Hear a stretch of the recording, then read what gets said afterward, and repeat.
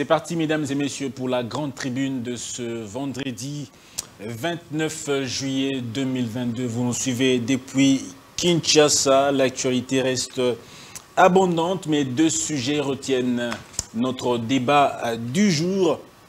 De Kabila à Félix Tshisekedi, qu'en est-il des détournements? Là, c'est la première question à laquelle vont répondre nos invités. Deuxième sujet du jour, l'état de droit, un bilan défendable. Voilà le deuxième euh, sujet. Je reçois dans cette grande tribune la dernière de la semaine, Maître Joël Kitenier, cadre de l'UDPS et communicateur de l'Union Sacrée de la Nation. Maître Joël, bonjour et merci d'être avec nous. En tout cas, merci de l'invitation. Merci beaucoup. Rudy Botouli, analyste politique, qui fait ses premières euh, chez nous ici à la Grande Tribune. Bonjour et merci de reprendre notre invitation. Merci infiniment, Simon. Enfin, Eric Siamanga, communicateur du chef de l'État. Bonjour et merci d'être avec nous. Bonjour, c'est moi qui vous remercie. Merci euh, beaucoup, Eric. Eric, je vous donne la parole. Un sujet à commenter par rapport à l'actualité ce matin. On s'est déjà commenté par rapport à l'actualité ce matin. Déjà, il faudra savoir qu'est-ce qui domine l'actualité euh, actuellement. Déjà, avec l'événement qui s'est passé hier, nous savons qu'il y a plusieurs langues qui se sont déroulées autour de l'actualité, mais seulement que chacun apporte son analyse, euh, chacun à sa manière. Et nous nous abstenons aussi longtemps que nous n'avons aucune approbation d'apporter euh, un quelconque approche ou quelque chose dans le sens. Allez-y comprendre. Maître Joël Kitenge, Certainement, un sujet merci. à commenter? Bon, il n'y a pas un sujet d'actualité. Nous ne pouvons pas considérer une invitation parquet comme actualité, d'autant plus que c'est la routine, ou qu'un citoyen congolais peut aller répondre à la justice. C'est cela même euh, le bon sens dans un État qui fonctionne et le sens même du civisme quand on sait qu'on a freiné la loi et les parquets enquêtent, puisque euh, les parquets, ce sont des enquêtes, ce ne sont pas le juge. Donc il n'y a pas vraiment un sujet dominant d'actualité, mais par contre, le sujet qui, qui est considéré pour moi comme sujet d'actualité, c'est la manifestation à l'Est, quand la population s'élève à l'émission, toutes les villes demandant le départ de la MONUSCO, et dans ce départ, nous avons intérêt, de deux côtés, tant du côté congolais que du côté des casques bleus, ce qui est déplorable, le méthode, la volonté est là. C'est vrai qu'on peut demander à la MONUSCO de partir. Le gouvernement aussi doit comprendre la demande de son peuple et tenter d'inscrire ça dans un débat gouvernemental à l'issue de laquelle on peut nous sortir une décision avec un calendrier chronométré.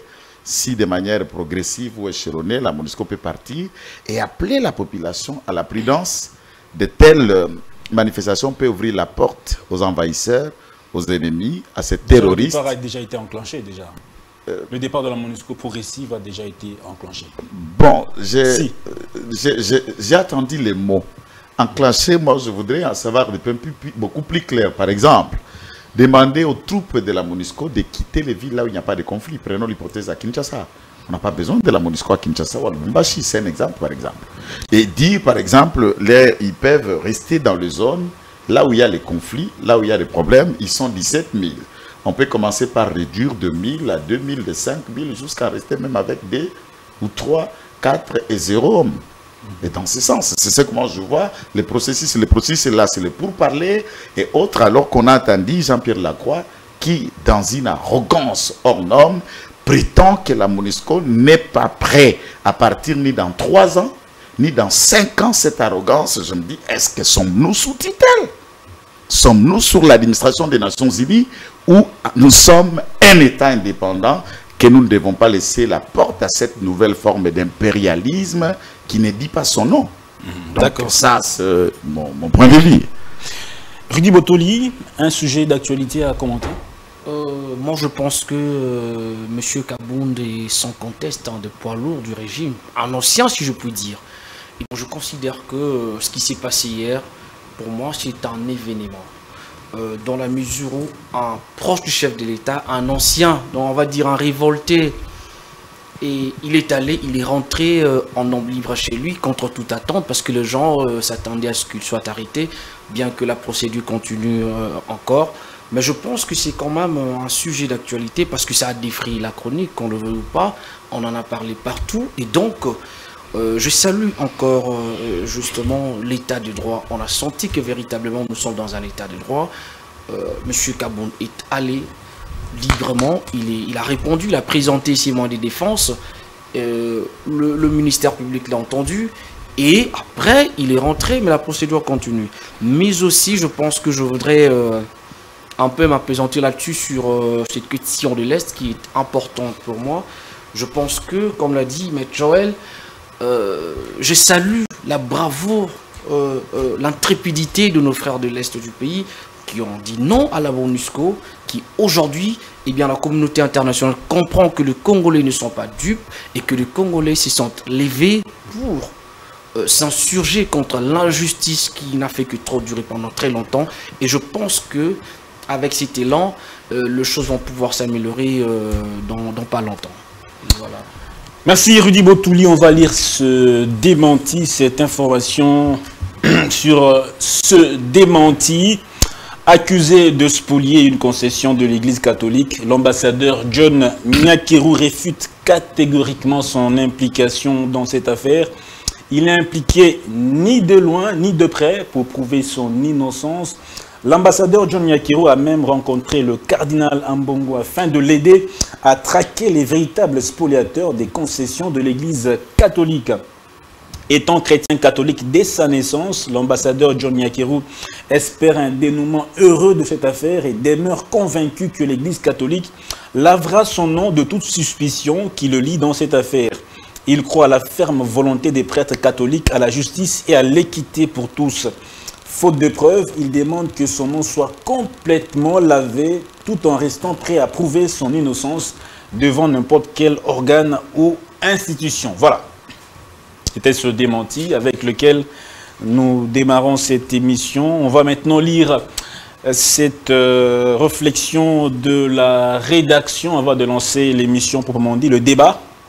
Cette réflexion de la rédaction il n'est nullement question de réussite dans, le compte du détournement en République démocratique du Congo. Ce détournement, un fléau qui gangrène à la gestion du pays, de la première République, ne peut être éradiqué en un quinquennat.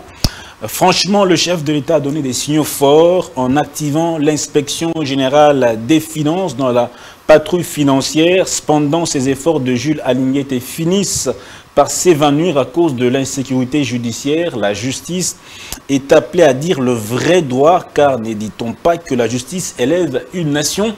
Là, c'est une question. Alors, place maintenant au débat proprement dit. De Kabila à Tshisekedi, qu'en est-il des détournements? Eric Chamanga, je vous donne la parole. D'accord. Par rapport à cette question de Kabila à Tshisekedi, qu'en est-il des détournements Moi, je pense qu'il y a des avancées significatives parce que regardons euh, le dérégime, soit le des périodes, il y a vraiment une très grande différence. Vous devez d'abord savoir que tout acte de détournement... Minutes, hein. Merci. Vous devez savoir que tout acte de détournement de deniers publics était, au départ, c'est un acte condamnable. Et de Kabila à Tshisekedi aujourd'hui, s'il fallait, euh, ou s'il faut déjà émettre une différence, vous allez comprendre qu'il y a une très grande différence. Jadis, le détournement se faisait dans, le sens occulte, sans que personne ne s'en rende compte, sans que personne ne puisse hausser la voix, sans que personne ne puisse quand même dire qu'il y a eu quelque chose. Et ça se faisait de manière calme. Aujourd'hui, avec l'avènement de Félix Tshisekedi, vous pensez que vous allez savoir que dans tout le secteur, dans tout le domaine de la vie, vous remarquerez qu'il y a au moins cette crainte de la chose publique. Et vous remarquerez qu'aujourd'hui, les gens s'abstiennent.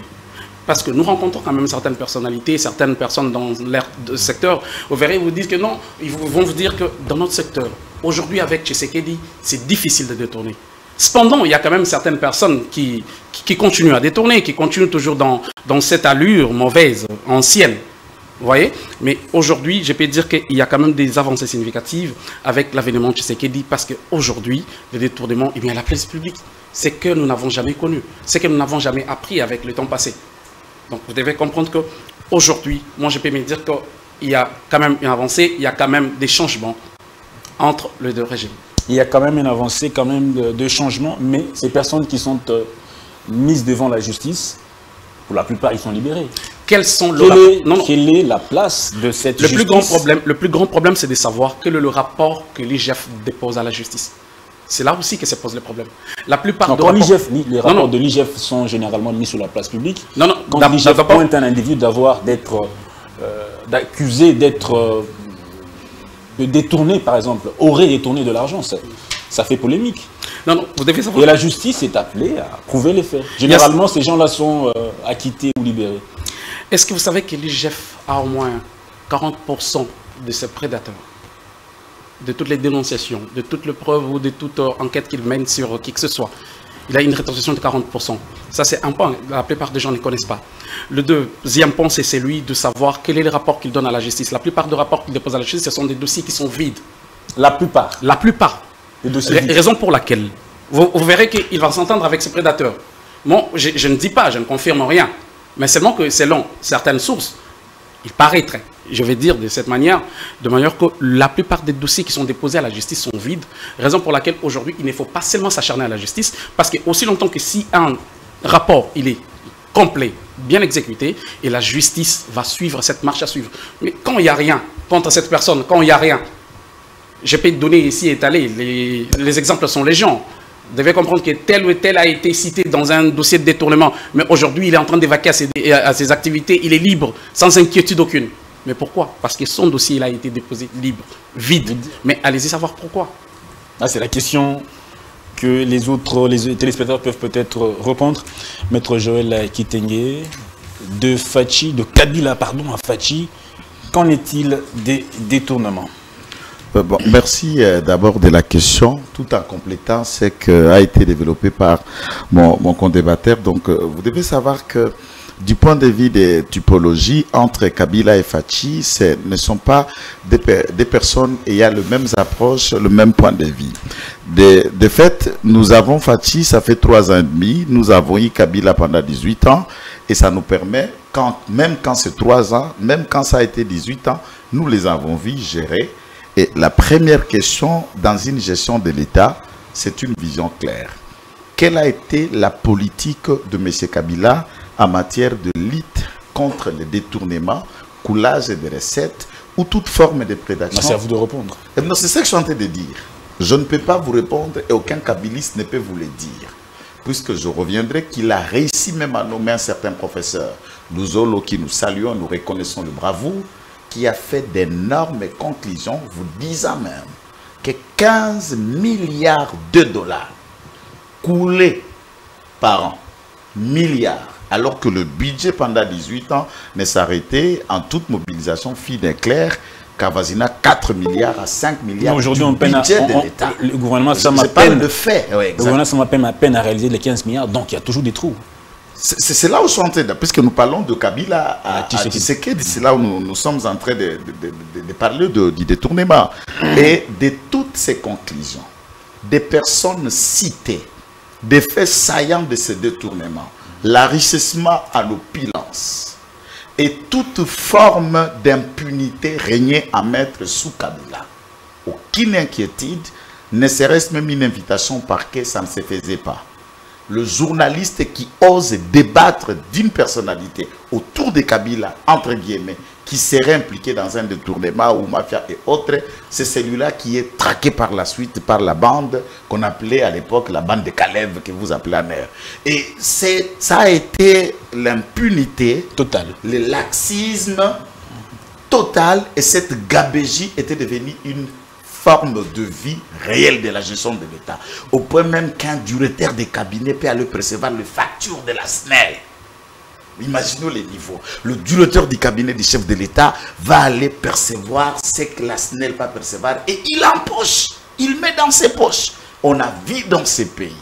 Et à ça, il y a beaucoup d'éléments. Mais sur Félix Tshisekedi, il y a signes, quelques démarcations. On a vu son directeur de cabinet, contrairement au directeur de cabinet de celui-là, hier, être allé en justice, rester en prison, traduit jusqu'à ce que la justice l'a innocenté, mais néanmoins, il est allé en justice puisqu'on lui reprochait quelque chose. Dans la forme, c'est déjà une différence. Celui-ci en a détourné, celui-ci en a pris, même pas une inquiétude, mais celui-ci est resté même en prison. Le procès est devenu un feuilleton. Il y a des ministres qui sont en prison même pendant que je vous parle. Nous avons Oli Lunga, l'ex-ministre de la Santé. Nous avons Guy Matondo, ministre provincial de Finances. Pas d'une justice qui n'attraque que ceux qui s'opposent au chef de l'État, pour la plupart. Ah bon, je vis Matata aller obtenir un arrêt à la Cour constitutionnelle et je ne peux pas comprendre si Matata soutient le chef de l'État. On dit pour la plupart. Non, mais alors Matata est dans quelle catégorie dans cette plupart? C'est ce que je suis en train de vous dire. Il n'y a pas question de faire une forme de sélection, mais le détournement mhm. doit rester un fléau. Sous Félix Tshisekedi, il y a des avancées.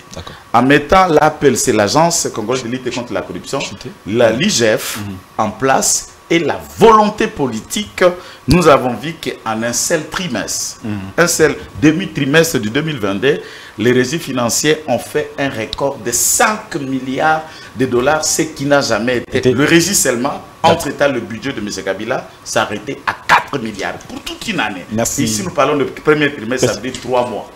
Merci beaucoup, M. Jolie Kitenge. Au Toli, je vous donne la parole. De Kabila Fachi, qu'en est-il des détournements, selon vous? Écoutez, je pense que depuis que Félix Tshisekedi est à la tête du pays, tout le monde comprend qu'il y a un changement. Moi, avant d'arriver là, je vous dis une chose, c'est que Félix Tshisekedi est un bâtisseur. Je, puis dire c'est le père du changement, permettez-moi de le dire, parce que ce qu'il est en train de faire, c'est du jamais vu. La différence entre euh, Joseph Kabila et Félix Tshisekedi est énorme. Comment donc? Vous parlez du détournement? Avez-vous suivi euh, du temps de Joseph Kabila un seul procès? Même un procès fictif Un procès euh, euh, fantaisiste Il n'y en avait pas. Tout ceci démontre à suffisance qu'ils n'avaient aucune idée et que pour eux, le détournement était, si vous voulez, une façon normale de vivre. Donc, nous vivions à l'époque dans une sorte de société anomique. Ça veut dire une société dépourvue de normes. Mais aujourd'hui, nous voyons un homme qui est venu euh, à la tête du pays, fait dit, pour changer les choses. Et comme il a dit, l'UDPS qui a lutté pendant très longtemps euh, pour le changement, et on sent ces changements. Vous savez, le fait la différence entre une personne qui est amenée devant la justice, qui est acquittée, et une personne qui n'a pas été amenée devant la justice? Je, C'est quoi, la différence? je voudrais vous dire quelque chose. Savez-vous que la bataille que Félix Tshisekedi a gagnée, c'est une bataille psychologique d'abord. Le seul, le simple, j'en viens. C'est au niveau de la psychologie. J'en viens, j'en viens. Parce qu'au fait, le problème c'est quoi? C'est au niveau psychologique que tout commence. Quand nous sommes dans une société où on n'arrête pas les détourneurs, où on n'arrête pas des voleurs de, de deniers publics, eh bien psychologiquement, tout le monde comprend que bien, euh, dans ces genres de sociétés, rien ne marche. La bataille, elle est d'abord psychologique. Maintenant, nous parlons des faits. Savez-vous, le simple fait d'inviter le directeur de cabinet du président de la République en Afrique et au Congo principalement, vous savez l'impact qu'il y a. Demandez aux expats, les Indo-Pakistanais... Euh, Quel est l'intérêt du peuple dans tout ça? J'en viens, s'il vous plaît. C'est-à-dire qu'aujourd'hui, vous demandez aux Congolais, vous disent qu'il y a un changement réel. Il y a un changement réel. Je ne dis pas, moi je ne peux pas affirmer ici que le taux des détournements euh, en fait, je dis les détournements n'existaient plus. Il y en a. Mais le taux du détournement a sensiblement baissé, ce qui fait d'ailleurs que aujourd'hui, les régies financières ont augmenté leurs recettes. Pourquoi? Parce que euh, les circuits financiers sont totalement fermés. Il y a évidemment ce qu'on appelle des brebis galeuses qui essayent d'aller euh, à contre-pied de cette vision, mais il est aussi important de comprendre que ici, Félix Tshisekedi est en train de se battre. Il fait du détournement, euh, en fait, je veux dire, de la sanction du détournement des deniers publics, son cheval des batailles, et tout le monde les constate. Tous ces gens, aujourd'hui, avant de toucher à la caisse de l'État, à l'argent public, pourquoi, eh bien, les gens pourquoi, réfléchissent par mille fois. Pourquoi une certaine opinion, je vous 30 secondes, pourquoi une certaine opinion pense que les personnes qui sont généralement amenées devant la justice pour détournement sont soit opposés au chef de l'État, soit ils ne sont pas de son camp politique, pour la plupart. Mais absolument pas, euh, qui était Vital Caméré, qui était euh, parmi, euh, je vais dire, les artisans du pouvoir, non pas parce qu'il ne faisait pas partie, on va dire, de, ben, il est du régime, il n'est pas du parti. Ce n'est pas le cas. Ça, c'est une mauvaise perception de choses. Ça, ce sont des mauvaises langues qui les disent. Ce qui est certain, Félix Tshisekedi est neutre dans cette affaire. Pour lui, c'est le principe. Et il respecte le principe. Et tout celui qui touche, qu'il soit son frère, qu'il soit je ne sais qui, Aujourd'hui, nous ne sommes plus dans une république des intouchables. Aujourd'hui, tout le monde est touchable.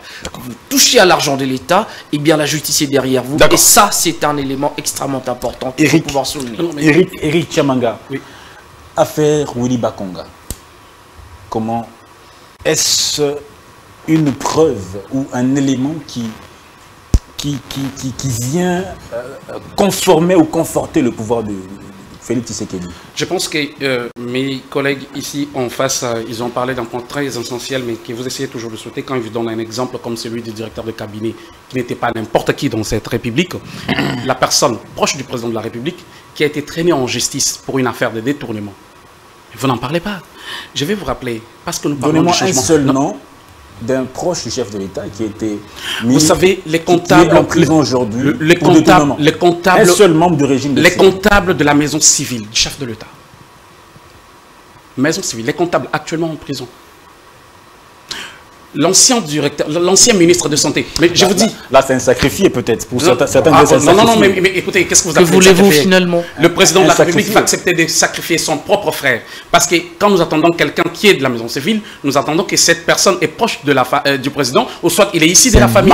C'est un membre de la famille présidentielle. Mais ce dernier est, traîné aujourd'hui en justice et actuellement, il est en prison.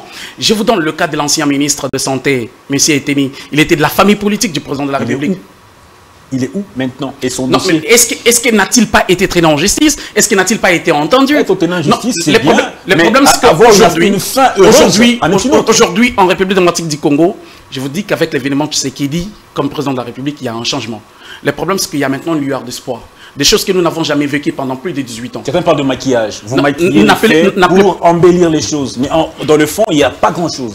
Dans les fonds, il n'y a pas grand-chose. C'est ce un maquillage. C'est ce que les gens pensent. Serait maquillage. Je, je veux vous dire une chose. Parce que nous parlons de changement. Ce n'est pas d'un bâton magique que les choses vont se transformer. Dans quel état tu sais qu'il a trouvé dans ces pays et, tu sais qu'il a ramassé ces pays? Dans quel état? S'il faut parler de l'aspect financier. Non, mais, mais je veux vous dire, je vais vous dire, parce que s'il faut parler de changement entre les deux, entre les deux personnes ou entre les deux régimes, allez-y comprendre, comme venait de le dire Maître Kitenge, qu'il n'a que trois ans à la République à la tête de cette République. Mais dans trois ans, regardez des avancées. Aujourd'hui, il a multiplié le budget qui était l'autre fois à 5 non non je reviens une prévision monsieur monsieur Eric Chamanga non mais allez-y cette prévision cette, cette prévision qui n'avait jamais été qui n'avait jamais été faite depuis très longtemps pendant plus de 18 ans aujourd'hui il a quadruplé la réserve de change. Vous savez, aujourd'hui, nous sommes à 4,2 milliards. Des choses qui n'ont jamais existé. C'est grâce à quoi? Je vais vous dire que la lutte contre le détournement aujourd'hui a aussi amélioré la crédibilité internationale de la RDC. Est-ce que vous pouvez le savoir? Aujourd'hui, les grandes firmes internationales nous font confiance. C'est grâce à cette lutte contre le détournement des deniers publics. Ici, il faut dire, euh, moi je pense que la plupart des personnes qui sont en train de nous suivre à la maison, et même savent déjà émettre une différence entre le régime de Tshisekedi et de Kabila pour dire qu'au moins il y a une différence. C'est la nuit et le parlons, jour. Parlons du cas Willy Bakonga. En une minute, une personne condamnée devant la justice. D'accord. Et aujourd'hui, il va à ses occupations librement. Qu'en est-il de son dossier Comment comprendre ça mais, mais s'il faudra qu'on parle euh, du cas de Willy Bakonga, est-ce que peut-on aussi parler du cas de, Vital Kamere non, Kamere, c'est un autre cas. Parlons de... Est-ce que ce ne sont pas des cas probablement similaires Parce qu'il y, y, avait un cas de tournement. Est-ce qu'il n'y a-t-il pas un procès qui a été exécuté, lancé et poursuivi. Vous êtes journaliste, vous devez quand même avoir quand même certains éléments sur l'affaire. Si, j'ai des éléments, mais je Est-ce qu'aujourd'hui, aujourd'hui, vous pouvez regarder, aujourd'hui, vous pouvez regarder les personnes qui nous suivent à la maison et leur dire que voilà, Bakonga a été libéré euh, parce qu'il n'avait pas détourné ou parce qu'il a détourné, mais une manière pour lui seulement de s'abstenir parce qu'il est proche du président de la République. C'est pourquoi il a été libéré. Mais c'est ce que vous voulez insinuer Non, non, non, non. Moi, je voilà. C'est ce que vous voulez insinuer. Moi, je pose des questions. Simplement, à vous de répondre. D'accord. Moi, je pense que Maître Kitenge avait bien expliqué et c'est le même cas avec Willy Bakonga. Merci beaucoup, maître Joël Kitenge. Parlons-nous du cas de Bakonga, particulièrement. Non, écoutez, d'abord, il faut qu'on fasse un petit rectificatif. Willy Bakonga n'a jamais été poursuivi pour détournement. Il n'a jamais été arrêté pour détournement. Il a été arrêté pour pour avoir marché dans ces diplomates avec une somme au-delà de la limite fixée par la législation congolaise sur la loi portant statut du blanchissement des capitaux et du financement du terrorisme. Cette loi voudrait, s'il vous plaît, voudrait qu'aucun citoyen ne peut se promener à une somme euh, supérieure ou égale à 10 000. C'est pour ça qu'on l'a arrêté et il a été jugé en flagrance, condamné pour ça. Je n'ai jamais vu un arrêt le condamnant pour détournement. Ça, c'est d'abord un rectificatif. Et sa condamnation n'a été que de quelques mois. Ceux qui bénéficient de la liberté conditionnelle au regard de la loi, sauf la personne condamnée et qui a déjà purgé les un quart de sa peine. Analyse les mois que Willy Bakonga a fait en prison et la courte condamnation qui lui a été affligée de la Cour de cassation, si et seulement si c'est irrégulière que Bakonga se retrouve dehors. La, la question sera approfondie. La Non, question sera non, approfondie. c'est- je suis en train de dire pour que les gens ne s'en mêlent pas, dans, dans- dans- ne, met- ne mettent pas la confusion. Il y a aussi un autre élément que les gens reviennent souvent. On interpelle, ils les relâchent et tout ça. Le droit a tout prévu. Dans un état de droit, il y a l'arrestation, il y a la liberté d'ailleurs qui est la règle. La détention, c'est une exception. C'est une raison majeure ou ici est seulement s'il y a fuite à craindre, il y a des, euh, des identités douteuses, il n'y a pas une adresse connue, on peut mettre la main, mais il y a lié même que quelqu'un aille répondre à la justice sans être arrêté, le droit à tout prévu. Dans un état de droit, on ne peut pas être surpris si quelqu'un a recouvré la liberté. C'est naturel, c'est normal. Moi-même, j'en ai déjà été arrêté plusieurs fois et bénéficiaire de liberté plusieurs fois, c'est le droit. Être condamné sur le droit, aller en prison, ressortir, tout fait partie du droit et le droit a tout réservé. Les magistrats, conformément à la loi, conformément aux règles, il sait si la personne remplit toutes les conditions pour bénéficier d'une liberté, on lui C'est l'état de droit, c'est ce que la loi dit. C'est l'article 27 du Code de procédure pénale. Le magistrat ne peut pas aller outre.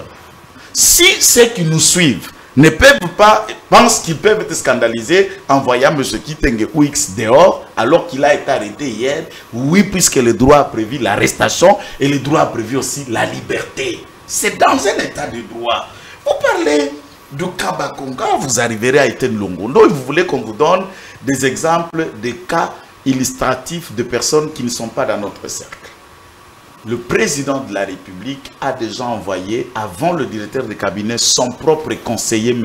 Lobo, le conseiller Dieudonné. privé Dieudonné Lobo, en prison. Monsieur le président de la République a déjà fait arrêter ses propres sœurs, dont la sœur Roselyne et son frère à Lubumbashi. Et transféré ici à Makala. C'est dans sa famille. Quel jour vous avez attendu le prétendu Zoé ou Janet ou les autres, là où madame, la femme, la- son mari, et les êtres, être interpellés, même, même si tu oses même envoyer une invitation. Mais qui pouvait se permettre? Tu es viré, tu es révoqué dans la magistrature. Et les magistrats sont à l'aise de faire leur travail d'arrêter un frère au président de la République. C'est déjà des avancées. Parlons un peu du cas, parlons un peu du cas Kabound particulièrement. Alors, le cette, cas. cette célérité avec laquelle la justice est allée dans cette, dans cette, euh, Ah, ouais, ça c'est ça c'est un cas dans cette important. affaire, C'est- Mbosso important. saisi, en moins d'une semaine, il, y a- il est autorisé de... de- L'instruction est autorisée et Kabound est devant le juge avec une telle, telle rapidité. En tout cas, nous félicitons le parquet qui est serein, puisque la matière pénale, au regard de la loi, requiert une sérénité. C'est comme ça que le droit a prévu. La matière pénale, elle est tout à fait cessante. On exécute, on le fait, on règle. Et on écrit à M. Mbosso, le bureau, pas Mbosso, mais le bureau. C'est la loi. Qu'il y ait un régime d'information et d'obtenir l'autorisation. Ce n'est pas d'élever d'une humilité où il faudra un réunion, réunion ou conclave. Non. Et à ce stade, le bureau accepte la demande et il dit au procureur, vous pouvez l'inviter, vous pouvez enquêter. À ce niveau, le parquet, le parquet enquête sur le comportement d'un incivique avéré que toute la République connaît. Un monsieur Jean-Marc oui. Un civique, Je suis en train de parler en français. avéré. Avéré. Et quand il fait son, son incivisme, c'est sur la place publique qu'il peut trouer les pneus des gens. C'est sur la place publique qu'il Je- peut brutaliser de militaires de la garde républicaine. À. Et à ce cadre, c'est naturel qu'on soit serein puisqu'on connaît euh, ces gros mensonges dans la place publique quand tu le dis que le Congrès congolais On va revenir à dépenserait 7 millions de dollars et il était incapable de contredire Alexis on à l'époque. on va- Donc, on va et un civique pareil, nous souhaitons la sérénité quand même. On va revenir à vous. Rudy Boutouli, vous avez suivi euh, l'arrestation de, de, Jimmy Kitenge du PPRD. Certains disent que nous sommes nous retournons à la case départ où les gens étaient arrêtés par l'ANER, à l'époque comme à l'époque de Joseph Kabila. Bon, écoutez, je pense que j'aurai le même, le même temps d'antenne. hein, parce que. euh, il ne faut pas confondre les choses. L'état de droit ou la démocratie ne signifie pas libertinage. Parce que il y a des limites à tout. Vous regardez les vidéos de ces monsieur que vous citez, monsieur Jimmy Kitenge. Du temps de Joseph Kabila, il ne serait pas en vie. Je pèse bien les mots. Il dépasse des limites. Le problème avec lui, Qu'est-ce que vous voulez dire que- Qu'est-ce que vous voulez dire? Ben, je À l'époque parce Kabila, que il n'y avait pas Ben, des gens écoutez, qui disaient écoutez, de telles choses, écoutez. qui sont en vie aujourd'hui. Écoutez, du temps, du temps, du de Joseph Kabila, et même les gens qu'on cite, ceux qui s'opposaient à Joseph Kabila, avaient beaucoup de limites. Très peu de gens citaient son nom. Très très peu de gens citaient son nom. êtes sûr Mais bien sûr, nous sommes ici au Congo. Je dis, c'était- médias. Écoutez, écoutez, écoutez, Danzang. Je dis bien, c'est pas tout le monde qui osait citer le nom de Joseph Kabila. C'est un peu comme à l'époque du maréchal Mobutu. Il y avait, il y avait une poignée de mains. Mais aujourd'hui, c'est tout le monde qui est à l'aise, euh, de critiquer Donc, c'était Tshisekedi comme une, il une veut. phrase, une phrase Je- je- je- qui a défrayé la chronique, une phrase qui a défrayé la chronique dite par euh, Etienne Tshisekedi. Amenez-moi Kabila ligoté. Je, je reviens, Etienne Il n'a Tshisekedi. jamais été inquiété. Et- Etienne Tshisekedi, et c'est Etienne Tshisekedi. Ils savent qui il est. Il n'est pas au-dessus de la loi. C'était. Oh, attends, il n'était on- pas au-dessus de la loi. Mais il n'a jamais été inquiété. Il y a, il y a ce qu'on Mais je me appelle. demande si cette a- phrase on est droit toujours, on droit Tshisekedi. toujours à ce qu'on appelle l'opportunité de poursuite.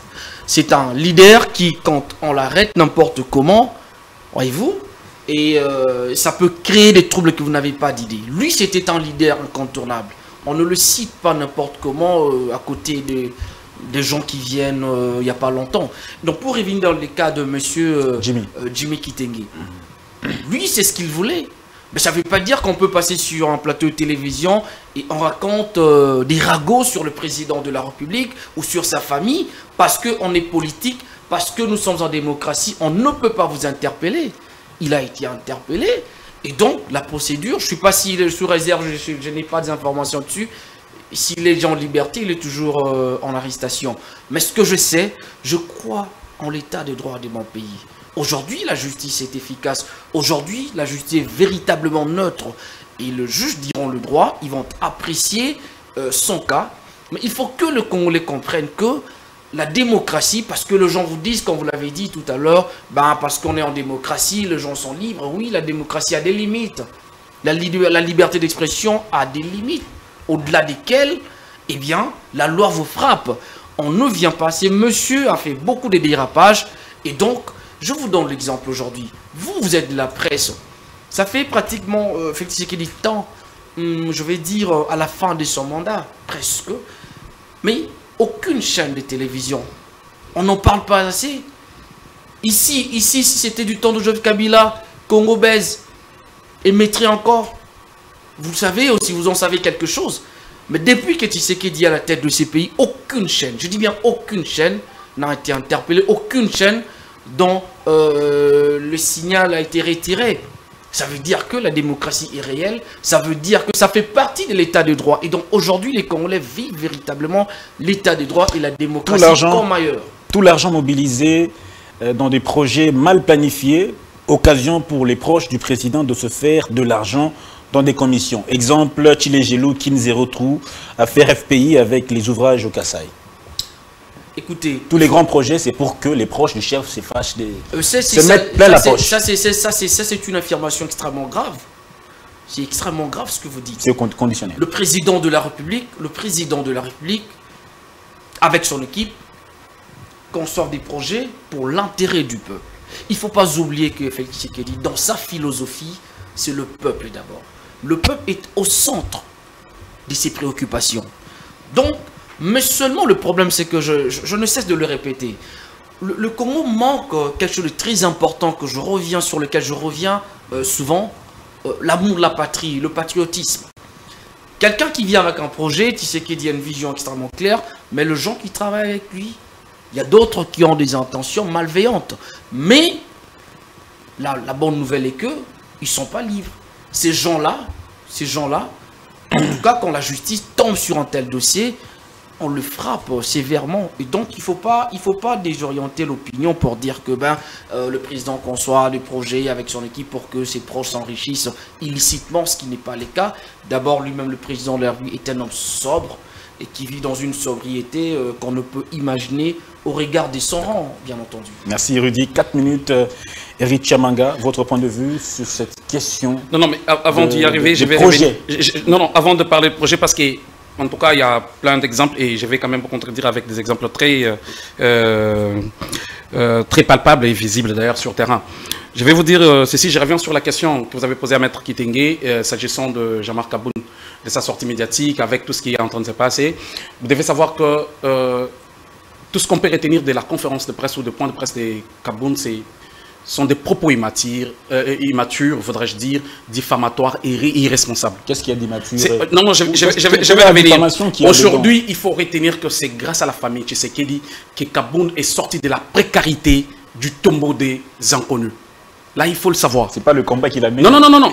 non, euh, mais il faut savoir. Il a été nommé Un secrétaire combat. général du parti. Il a été Sous Étienne il, il a Tshisekedi. été nommé secrétaire général du parti sur base d'un mensonge. C'était sur base d'un constat amer. Vous savez, aujourd'hui, euh, je peux revenir un tout petit peu en arrière. Le fait Étienne Tshisekedi, le père de la démocratie dans notre République, c'est quelqu'un qui se basait toujours sur ce qu'on appelle la géopolitique. Tenant compte de la géopolitique pour la nomination des postes de responsabilité dans le parti, sachant que ces derniers étaient ressortissants euh, du Grand Katanga, c'est comme ça qu'il a eu à obtenir ces postes. Ne, me dites pas qu'au départ, si le fait Étienne Sachek et savait, voudrais-je dire, que Kabound était kassaïen ou de Luisa, il aurait peut-être obtenu ces postes. Parce que, dites-moi au moins, avant Kabound, combien de secrétaires généraux ne sont pas du Kassai Ont occupé ces postes? Vous voyez qu'il a d'abord occupé les postes sur base des mensonges. Il a d'abord trompé tout le parti et voire même son président. C'est lui pour qui aujourd'hui il est en train de, euh, de soulever et de parler à haute voix, dire que je suis le véritable fils. Le véritable fils d'un père que vous avez trompé déjà dès le départ. Ça, c'est ce qu'il faut dire. Après avoir fait la fortune dans le carrière minier, parrainé le ministre, certains ministres aussi ont été parrainés par, le, euh, par Kaboun pour quand même recevoir les dîmes mensuellement. Ça, c'était l'impunité de quand il était encore au FC, Non, non, au- mais- mais- à l'Union Sacrée. Non, mais je, je suis en train de les dire. je, je- je suis en train de les dire. Donc vous conceviez le mal déjà Non, pendant non, que... Non, non, non, non, non, non. Dire ça, c'est- contredire quand même la vérité.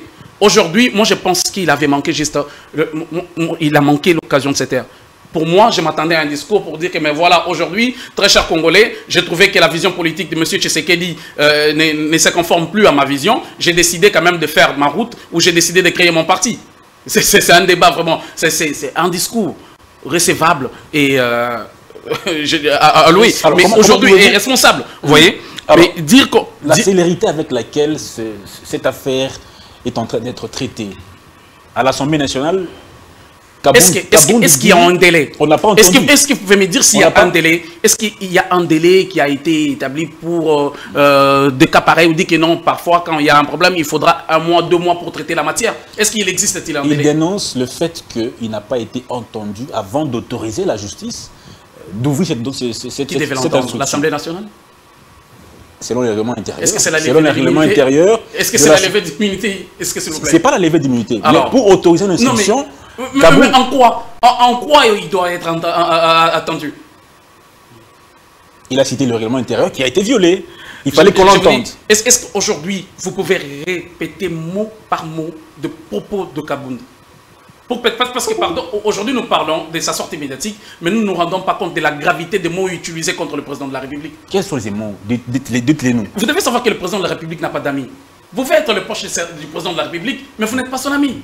Vous voyez Aujourd'hui, en ce moment où le président de la République est contre et est en train de donner toute sa force contre les forces négatives de M23 soutenues par euh, l'armée rwandaise, contre le mouvement euh, négatif, voudrais-je dire, euh, le- les forces armées négatives à l'est du pays, les terroristes, Aujourd'hui, dire que le président de la République est un danger pour la, euh, pour la, RDC, moi je pense que c'est inutile aussi. Parce qu'aujourd'hui, toute la République, nous devons soutenir le président, être derrière lui, afin que ce dernier gagne dans son combat. Maintenant, si vous voulez, euh, s'il faudra revenir sur la question s'agissant de l'argent mobilisé. De l'argent mobilisé. Oui, ce serait l'occasion pour les chefs de se mettre l'argent dans les poches. Ça, c'est faux.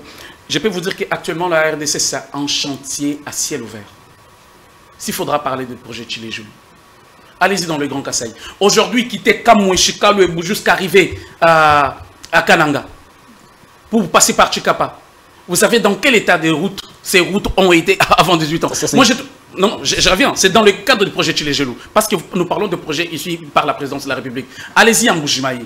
La grande avenue cathédrale, la route nationale numéro 1 qui dit tout, passant par Mbujimaï, Ngandajika, pour arriver jusqu'au au, grand, au grand Katanga. Vous savez où en sommes-nous? On en parlera. Non, non, non parlons-en. Nous sommes en train de parler parce que vous parlez des projets qui euh, qui, n'ont pas été acheminés parce que c'est un alibi pour le conseil du chef de l'État à, ramasser de l'argent. Je vous en dis que c'est faux. Je vous en donnerai à nouveau la parole, maître.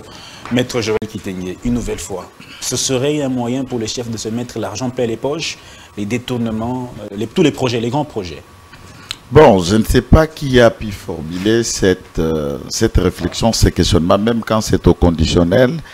Euh, dans mon sens, c'est indigeste, c'est impropre, et je ne sais pas d'où il l'épuise. Parce Mais très certainement, je crois que tellement qu'il y a eu...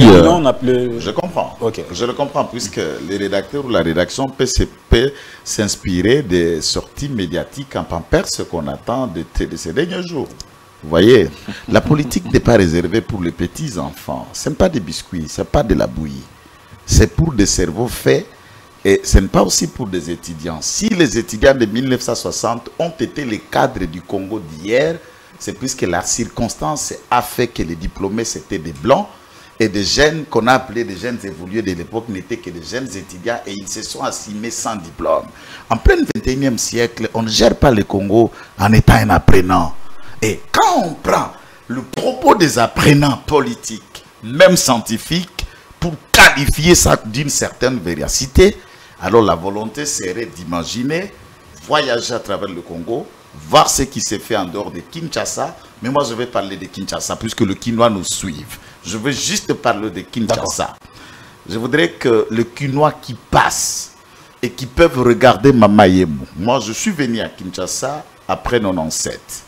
Et ceux qui sont nés ici, je ne sais pas, peut-être c'est ton cas, regardez ce qu'a été Mamayemo et ce que Mamayemo est en train de devenir. C'est dans quel projet?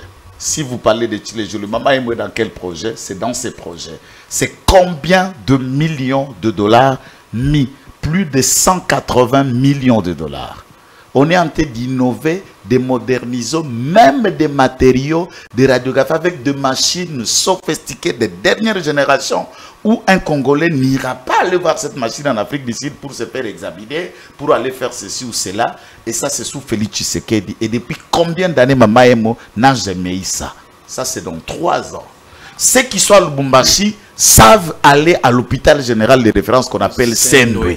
Regardez les machines et la belle robe que cet hôpital a. Quand vous allez, s'il vous plaît, vous, parlez de l'argent, ça veut dire quand on a pris le, on a fait le projet, on soutire l'argent de ce projet pour empocher, on ne peut pas construire. Mais dès qu'il y a des ouvrages, ça veut dire qu'il n'y a pas eu de l'empochement caché, par exemple, ou sournois. Mais quand les délais ne sont pas respectés, par exemple... Le délai, en matière de construction, les délais n'ont jamais été respectés, je le dis sans être architecte ni ingénieur. Il y a des aléas, par exemple, sur les routes et autres, il y a les climats. Quand c'est par exemple la saison de pluie ou la saison sèche, tous ces climats-là entrent et entravent.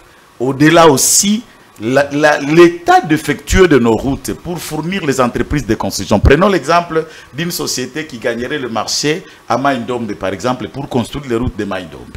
Et on sait que le bar de fer, les ciments, tout bandou, il n'y a aucune usine de ciment. D'où va venir le ciment du, Congo central, à Lukala et autres, ou à Kimpese et le temps que ça va aller, ça va aller dans le zoo, dans le barge, dans le bateau. Vous avez quand même vu le, déplacement. Vous avez... vous avez... quand même vu le déplacement du chef de l'État dans le Kassai. Vous avez vu l'état défectueux de nos routes. Exactement. Euh, c'est ça la gestion. Pendant un moment, le chef de l'État a traîné dans la boue pendant plusieurs heures. C'est ça, la gestion, de ces mêmes C'est ça la gestion de 18 ans. on n'a rien envisagé en termes de développement des constructions, mais on a essayé de faire des châteaux, des palais, des restaurants et changer ces bottes en caoutchouc en milliards. C'est tout ce qu'on nous a présenté au Congo.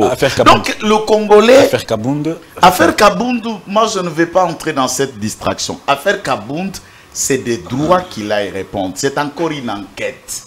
Le parquet ne condamne Mais pas. quand il dénonce le fait que le règlement intérieur ait été violé et qui n'a pas été entendu comme le dit ce règlement, non. ça fait quand même jaser. Je, je voudrais voir. Je sais que tout règlement intérieur d'une assemblée ou du Sénat est d'abord aller en lecture au Sénat, euh, j'allais dire à la Cour constitutionnelle pour les raisons de juger la conformité de ces règlements à la Constitution. Et aucun règlement n'est pas figuré un article qui heurte la loi, qui heurte la Constitution. Le parquet général près de la Cour de cassation demande informe le bureau pour obtenir l'autorisation de poursuite et cette poursuite n'est pas soumise à un règlement intérieur qui est la loi des partis ne résistant que les députés n'ont pas le parquet près la cour de cassation. Donc l'étudiant Kabound a encore intérêt d'aller revoir ce syllabus pour ne pas... D'abord, c'est quel article du règlement C'est un menteur. Il vient toujours avec des tests illusionnistes à la place publique. C'est cela que nous qualifions de sortie médiatique en point perse. Rudy Botuli, nous la parole.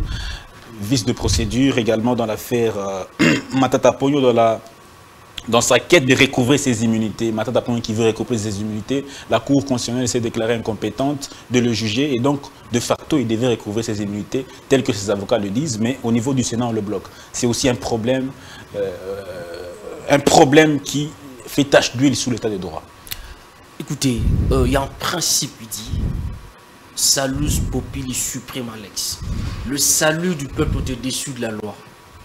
Alors s'il faut considérer ça comme ça, vice, moi je soutiens un vice des procédures pour un détourneur.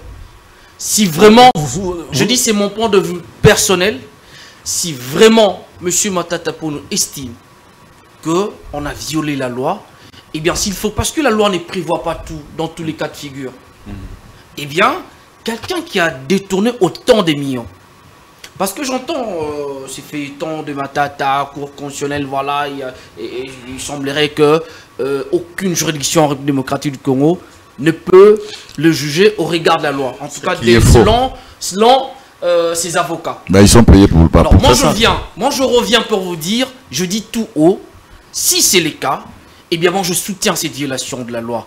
En vertu du principe, salus populi supreme alex, le salut du peuple est au-dessus des lois. Voyez-vous Le million qu'il a détourné, non, ce n'est pas son argent. C'est vous qui le dites, parce que la justice n'a pas encore, pas les, faits sont avérés. Dans les fonds. Mais écoutez, les faits sont avérés. L'affaire Bukanga Lonzo, vous savez parfaitement bien. Mais on est au niveau de la procédure. Pour eux, ils savent que Matata n'a pas de juge naturel. Alors que la Constitution prévoit un juge naturel à chaque citoyen, à chaque catégorie des citoyens, si on peut les dire ainsi. Et donc, si... Toute personne qui n'est pas condamnée, présumée innocente, jusque-là, Martha n'est pas encore jugé. la question, on ne peut pas dire qu'il a détourné l'argent. La, la, question que vous me posez à moi, c'est au niveau de la procédure. C'est pourquoi je vous dis, si effectivement la procédure a été viciée, je soutiens cela.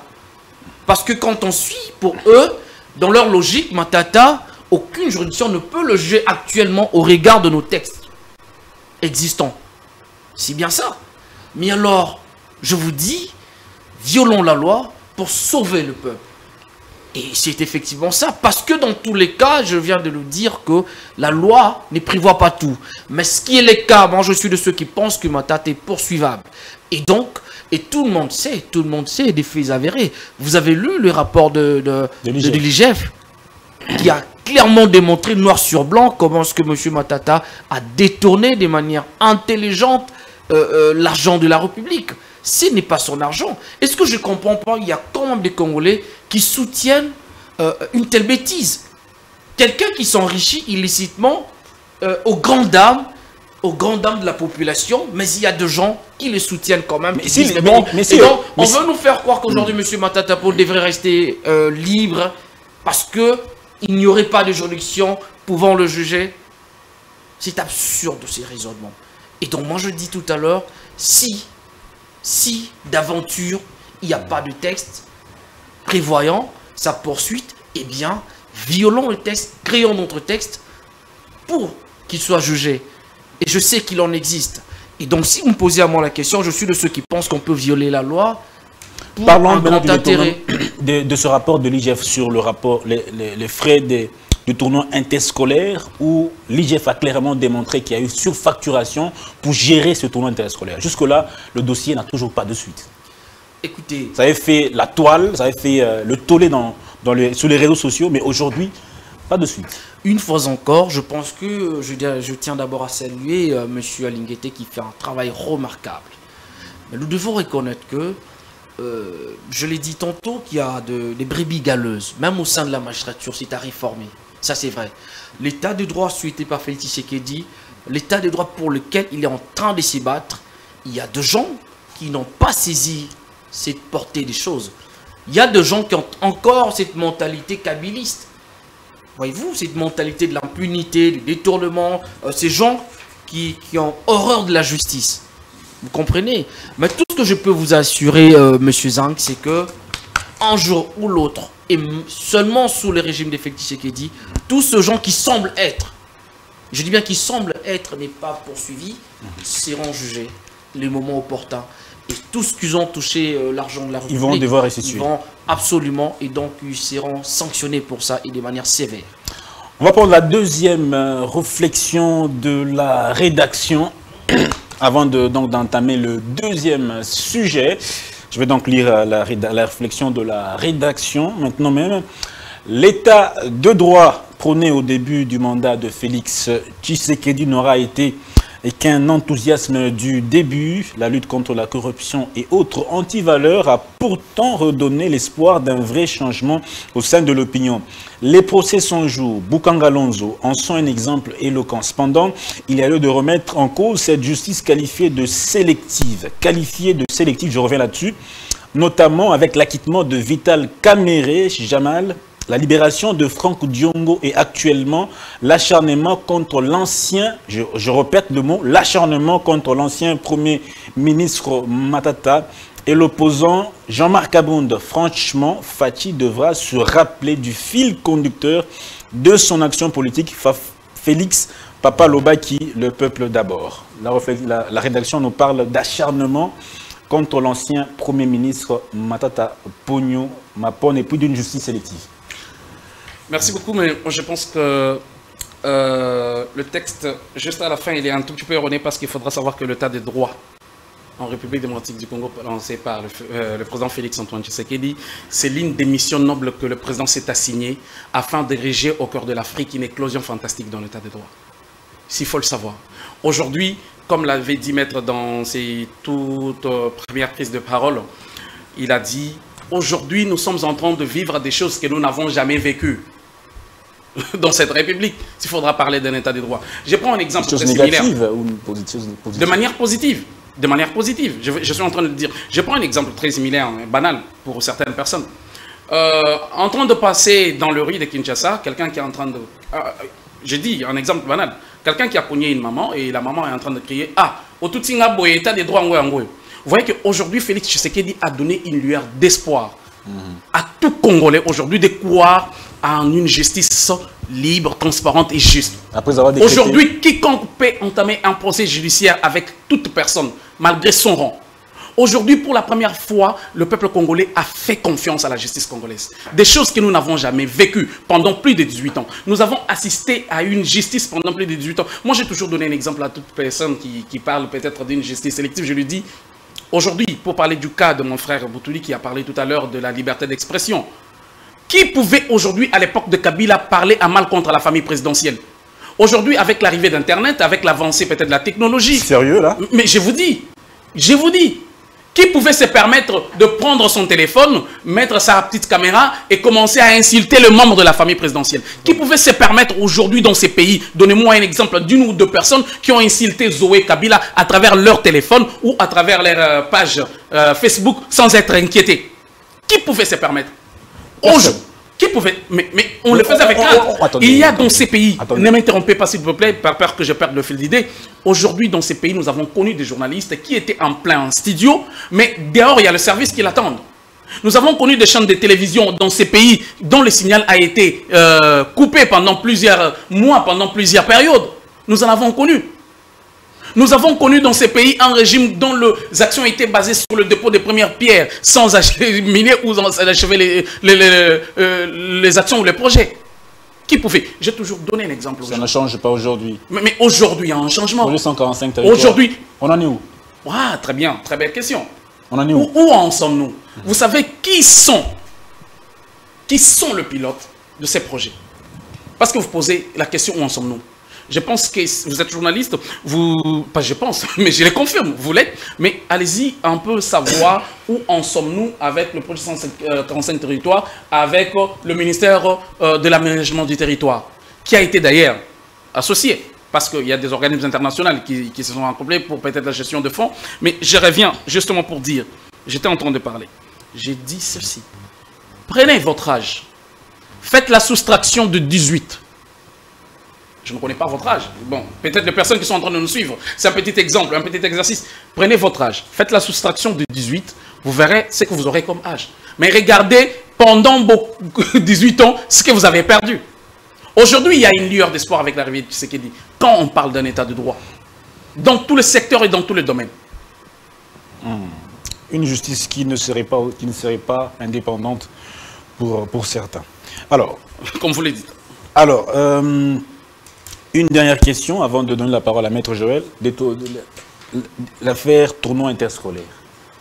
L'affaire, on est où jusqu'à là? Pourquoi il y a... Je pense que nous avons assisté ici tous au spectacle entre Tony et, euh, et Alingetti. Et, et, M. Alingetti, euh, l'inspecteur euh, chef de service. Nous avons assisté à des spectacles sur les réseaux sociaux. C'est lui-ci qui écrit, l'autre qui répond à l'air Nous avons tout vu. Moi, j'ai dit toujours, M. Alingetti, attends, qui a dit qu'un contrôleur, on ne peut pas le contrôler? Vous savez combien M. Alingetti perçoit dans, dans les entreprises publiques? Monsieur Alingetti, parfois moi je pense qu'il faudra quand même d'abord expliquer c'est quoi le rôle de l'IGF. Monsieur Alingetti est allé même plus loin, à sceller même certains, euh, certains paiements des entreprises publiques pendant deux mois. S'il faudra énumérer, euh, on, on, peut parler de la GECAMINE, Merci beaucoup. Non, non, non, mais là, vous m'interrompez. Là, vous m'interrompez. Chutez. D'accord.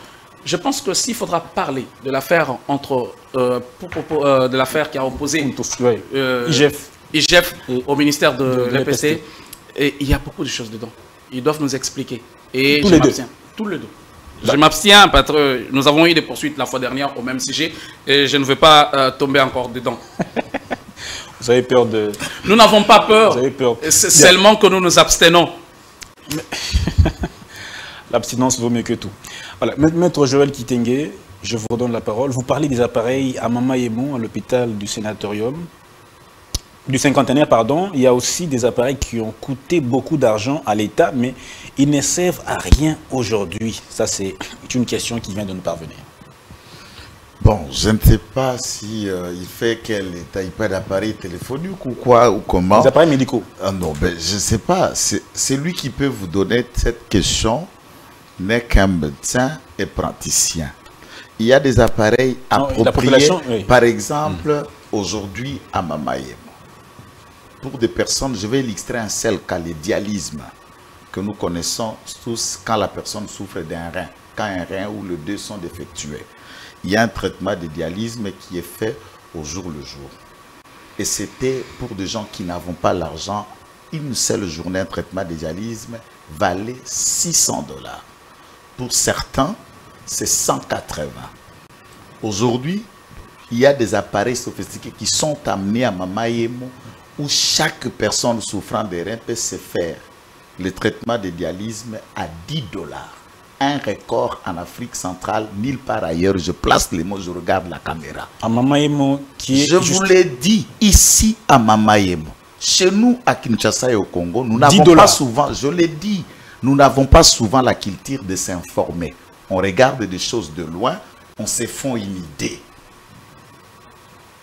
il y a des appareils. Mais prenons la, la question si ces appareils-là qui traitent spécialement que des gens qui ont des problèmes de, de- de reins défectueux, il n'y a pas de malades qui souffrent des reins.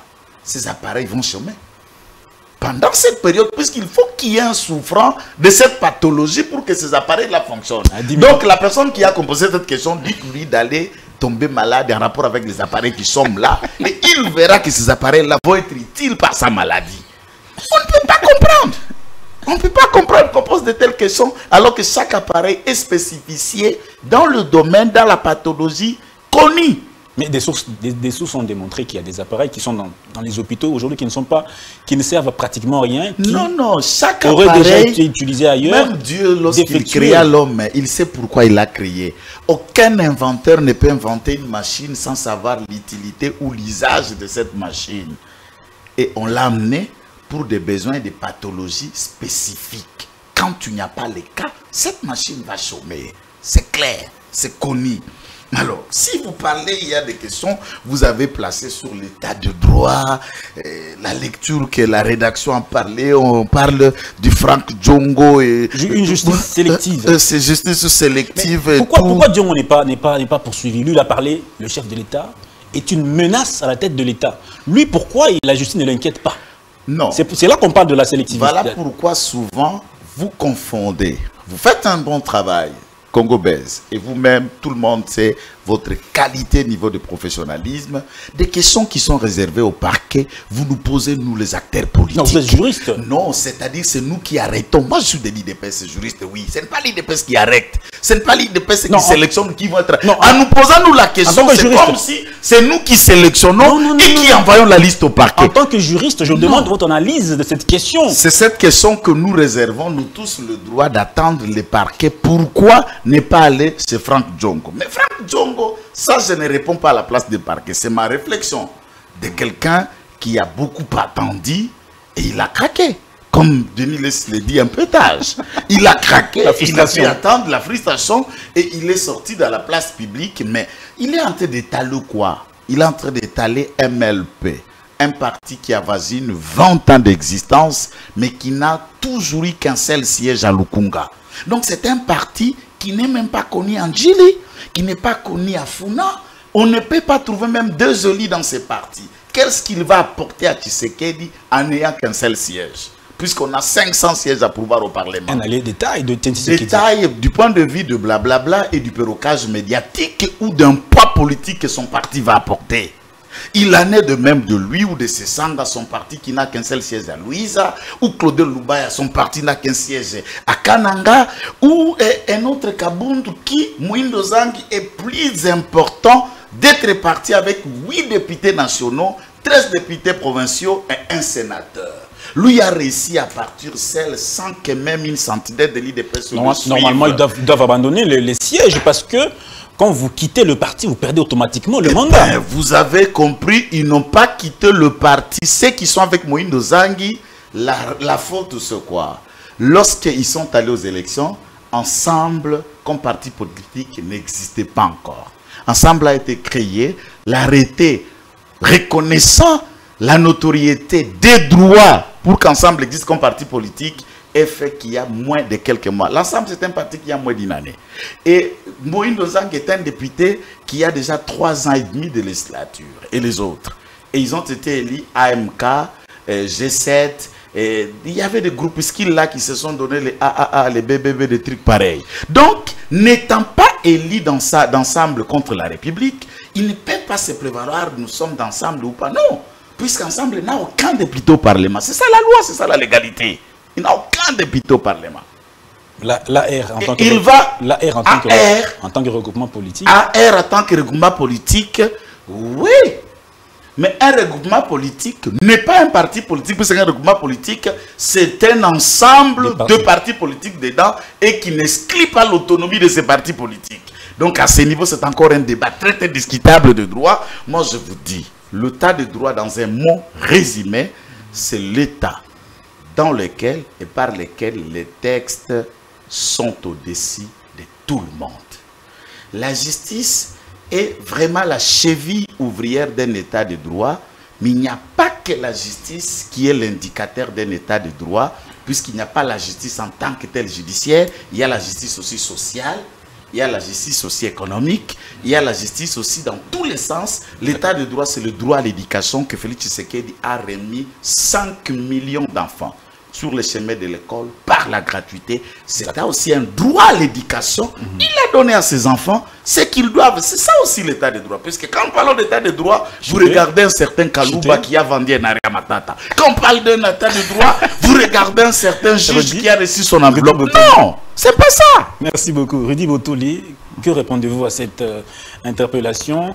Euh, Certains parlent d'une justice sélective. Une justice euh, sélective quand on parle du cas de, de Kabound et de Matata Pognon. Voilà. Euh, écoutez, je ne pense pas que c'est bien les cas. Aujourd'hui, euh, le Congolais veut une chose et son contraire. Comment ça? Le, le, cas, le, Je prends le cas de M. Kabound, par exemple. C'est sachant bien qu'il était proche du président de la République, il a profité de cette aura, de cette position pour faire croire des choses. Parce qu'il sait qu'en sortant de là, et que bon, euh, le Congolais, tellement qu'il est animé des sentiments, ils savent que bon, euh, si Kaboun dit telle ou telle déclaration, ça, ça s'avère vrai. Et Kaboun a joué sur ça. Il a été proche du chef. Mais c'est clair, c'est une évidence, il a été proche de lui. Ça, c'est bien qu'ils sont plus ensemble, mais il a été proche de lui. C'est pas discutable. ne sont pas lui couper la parole. Même le diable était proche de Dieu. avant de devenir le diable. Il était un ange. Et puis il est devenu le diable, c'est naturel. Il a vécu au ciel et il est maintenant sur la terre. C'est une évidence. Ça pas personne. Et donc, euh, c'est tout à fait normal. Et Kaboun est en train de jouer sur ces jeux-là. Mais il a oublié que nous sommes dans un état de droit. On ne peut pas venir sur la place publique, vociférer le président de la République sur base des imaginations. Simplement pour ternir son image. Et c'est ça le problème.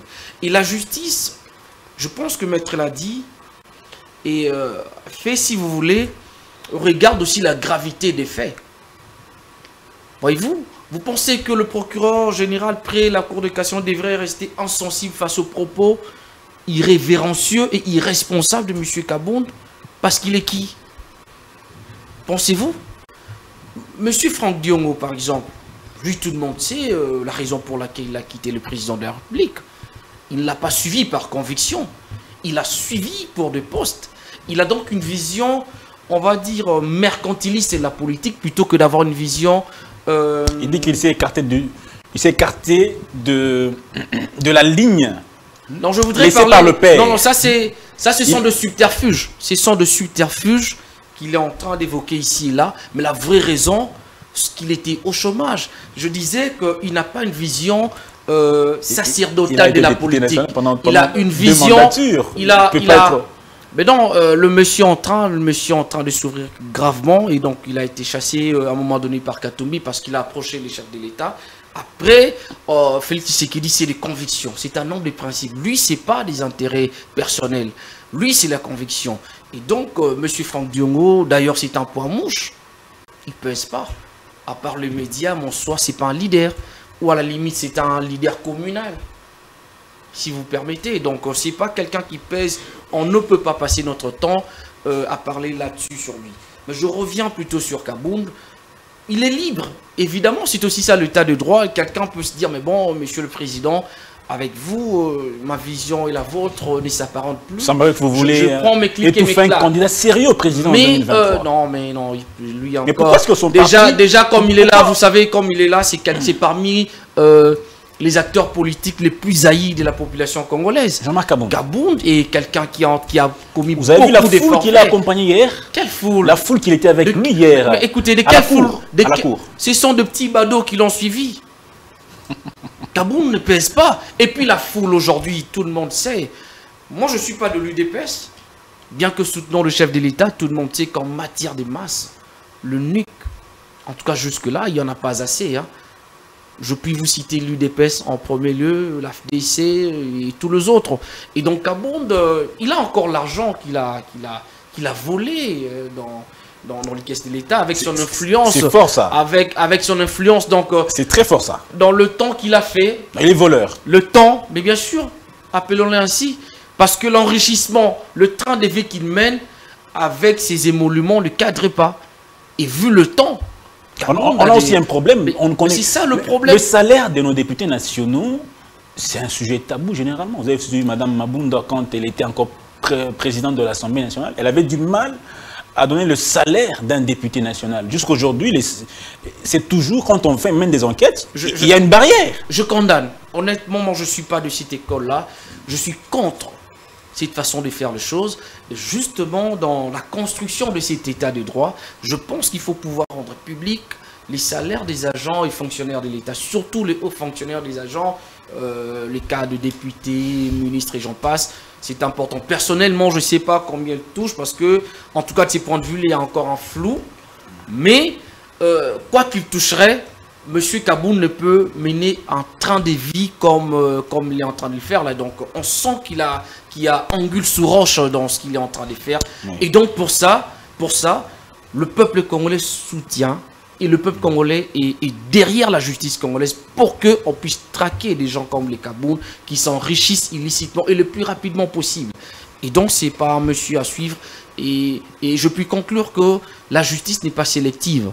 La justice est véritablement neutre. Elle est en train de fonctionner comme il se doit et dans des pays sérieux ailleurs. Et le Congo est sur cette voie euh, lancée par Félix Tshisekedi. D'accord.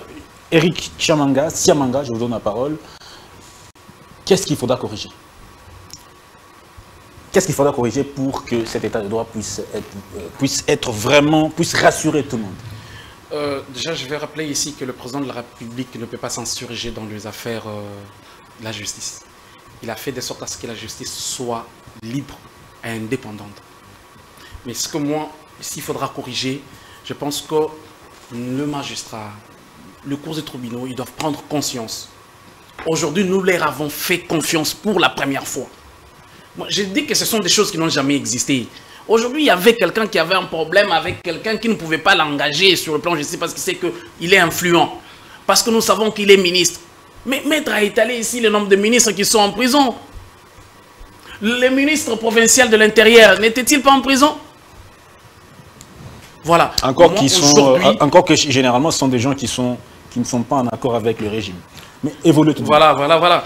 Oui, voilà, c'est ce, que tout, ce que tout le monde peut dire. Chacun peut dire, euh, c'est l'analyse de toute personne. Mais nous, nous disons aujourd'hui que si il faudra à ce que les choses aillent de l'avant, nous demandons encore beaucoup plus du sérieux et de la maturité dans l'appareil judiciaire. Aujourd'hui, nous leur avons fait, nous fait confiance. Le président de la République a fait confiance. Et aujourd'hui, nous avons une lueur d'espoir pour un État de droit libre ou aussi un État promettant. Nous leur demandons assez que ces derniers mettent du sérieux. Mais pour revenir à ce que mon frère a dit, moi, je pense que en quoi, parce que vous avez parlé de, la compétence de Kaboun, je vous dirais en quoi ce monsieur est-il compétent si ce n'est que de creuser les mines de, de, de hein, et de trouver les pneus à Kinshasa. en quoi ce dernier serait-il compétent S'il faudrait parler de la jouissance, mais qui est-ce que nous avons vu dans une vidéo en train de jouir? Bon, entre guillemets. Voilà, on en passe. Merci. C'est parmi les personnes qui ont amené le chef de l'État à la magistrature suprême. C'est parmi l'un des fervents, l'un des fervents combattants qui ont mené le chef de l'État à la magistrature suprême. Bon, et Kabound égale la base, c'est ce que vous voulez insinuer En tout cas, l'opinion dit Kabound est une personne qui a été très Non, non, dites-nous que Kabound égale la base. Parce que c'est aujourd'hui, nous savons... Vous voulez nier le combat de Kabound Vous voulez nier le combat de Kabound dans Non, non, non, non. Il a fait quoi? Nier le combat Je vous donne la parole. Il n'a rien fait au sein de l'UDPS. Tout le monde a combattu à sa manière. Tout le monde a un combat qu'il a mené. Aujourd'hui, est-ce que vous savez les combattants qui vivent à Mboujimaï Vous connaissez?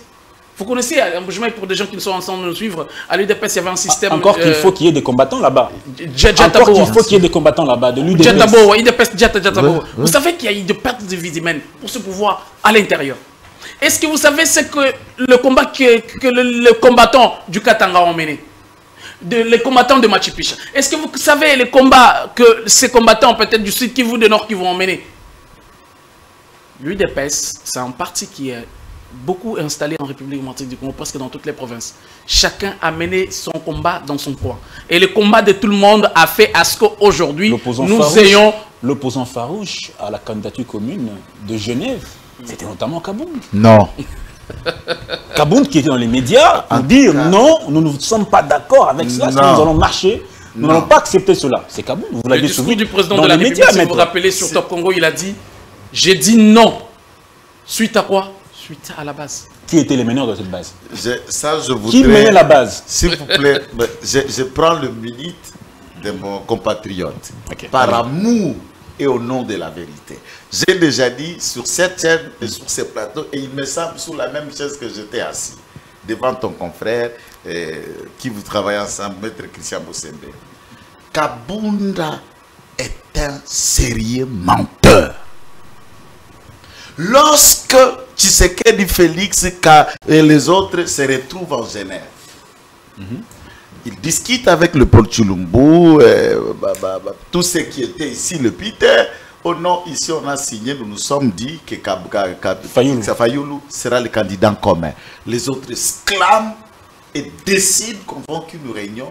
Hors de question, vous retirez la signature. Le président, dans sa manière d'être honnête, j'ai dit et il me regarde tu sais et vous me connaissez, je ne peux pas faire ça.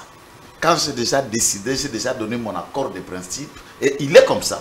Je ne suis pas déjà à reculer, je serai pris pour un lâche, pour ceci, tout ça. Ce n'est pas dans ma nature. On a déjà dit, j'ai déjà donné mon accord de principe, consentez seulement.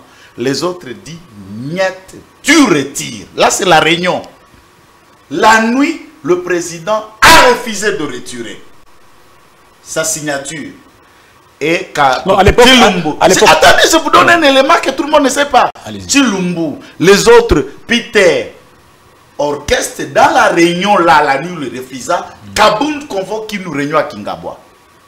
Avec l'exécutif du parti, on a signé un communiqué nuitamment pour exclure Tshisekedi Félix au parti pour haute trahison. L'un des membres participants de la réunion informe à Chilumbu Paul, député national, qui est lié à Tchang. Que, attention, demain matin, Kabunda fait une déclaration. Il exclut Félix Tshisekedi et il appelle sans délai à un congrès, un nouveau congrès pour que l'IDPS désigne un nouveau candidat président de la République. Pour la c'est comme ça. Alors, la nuit, puisque nous, ça s'est passé nuitamment dans la bouche, les cris commencent, on appelle les parlementaires de la, du grand marché, ont commencé à 6h, 5h ceux qui étaient au grand marché ont commencé à marcher. Les autres de la Tchangou viennent. Nous nous racontons à Limité et Kabunda, on lui informe par ses poulains que Ozola Lawa, babase basi batelemi bazokanga plan tozalaki nango akoescrit félix tshisekedi kosimba te yosalaka communiqué moko boye ya korallie kaka base. Ce que je dis c'est la vérité. Et il vient avec un communiqué on dit comme ça faites seulement un ultimatum à félix tshisekedi.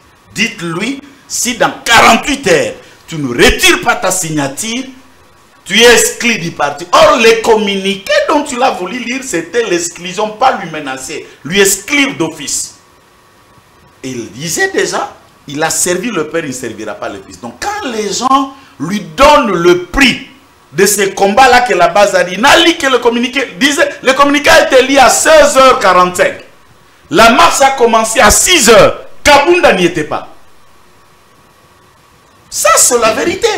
Si les gens se taisaient, ce n'est pas puisqu'avec ces gros mensonges, quand tu sais, ça mène de manière perroquet devant les, chaînes de télévision qu'il est en train de dire la vérité.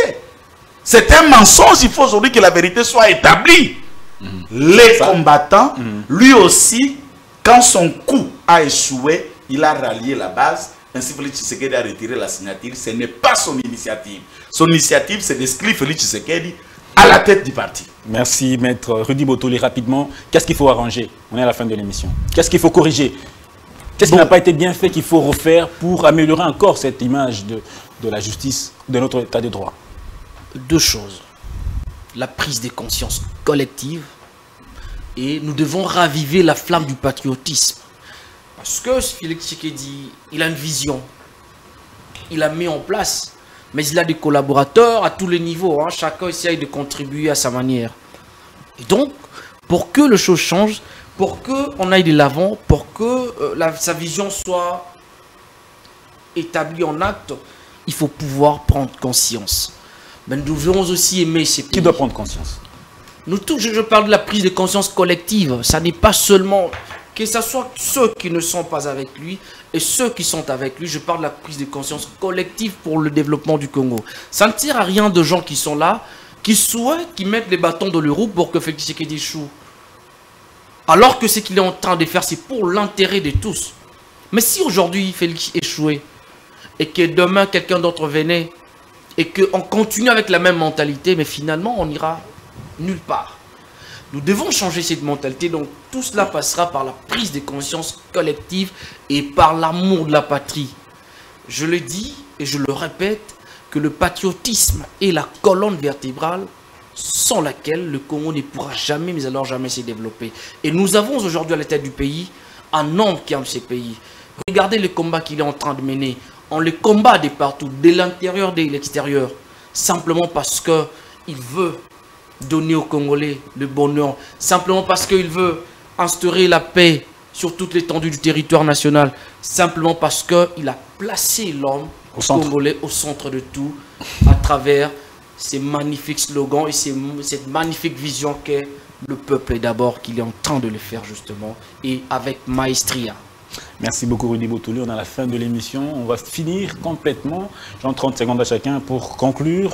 Euh, Eric Chiamanga, je vous donne la parole. Comment voyez-vous la fin de ce mandat du chef de l'État? Euh, Moi, je pense que la, la, fin, il est vraiment, elle est vraiment, vraiment une fin extraordinaire.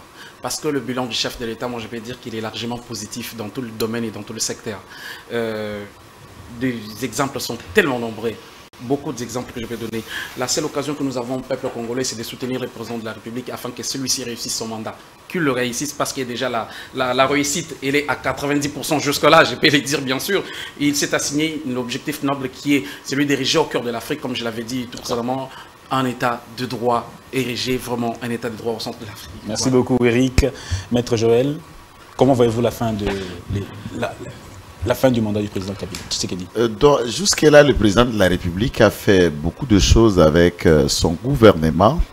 La fin de son mandat euh, sera aussi déterminée avec ce qui est en train d'être fait. Notamment, la question majeure, c'est la question de la sécurisation de la partie Est, et de l'invasion rwandaise mais également euh, des questions de réajustement social et économique en interne qui doit être tout de suite prise en charge pour tenter de les solutionner, mais également un réaménagement au niveau de l'appareil judiciaire. Je crois qu'il avait déjà parlé dans son discours, en mettant un avis de recruter de nouveaux magistrats jeunes qui peuvent être formés dans l'idéologie de l'état de droit.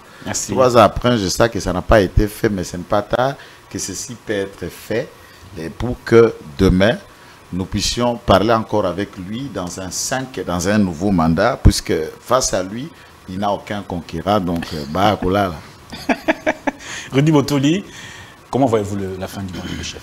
Euh, En toute honnêteté, je puis vous dire, euh, comme Félix dit, la fin de son mandat, elle est heureuse. Pourquoi? Parce que aujourd'hui, il est ce qu'on appelle le chouchou du peuple. Le peuple congolais avait été pendant très longtemps manipulé, mais il a fini par comprendre que cet homme que fait le fils du sphinx de l'humanité, âme ce pays, âme le peuple congolais. Il est en train de marcher sous les pas de son père. Et donc, moi je demande à tous les Congolais de le soutenir parce que les combattre, c'est nous qui souffrons. Et le Congo n'avancera jamais. Cet homme est une bénédiction pour la République démocratique du Congo. C'est véritablement le Moïse qui est venu euh, sortir le grand Congo du pernicieux gouffre dans lequel on l'a placé pendant 50 ans. Je prends les 18 ans catastrophiques du régime Kabila et les 32 ans du tyran Mobutu. Ça fait 50 ans.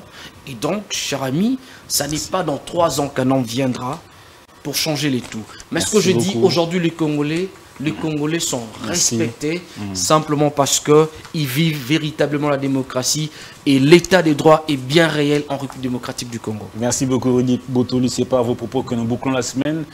Mesdames et messieurs, c'est ce numéro de vendredi que nous mettons un point final à cette émission de Grande Tribune de ce vendredi 29 juillet. On se retrouve lundi prochain avec le même plaisir, avec d'autres invités pour d'autres questions d'actualité. Entre-temps, portez-vous bien, excellent week-end et portez-vous bien donc. Au revoir.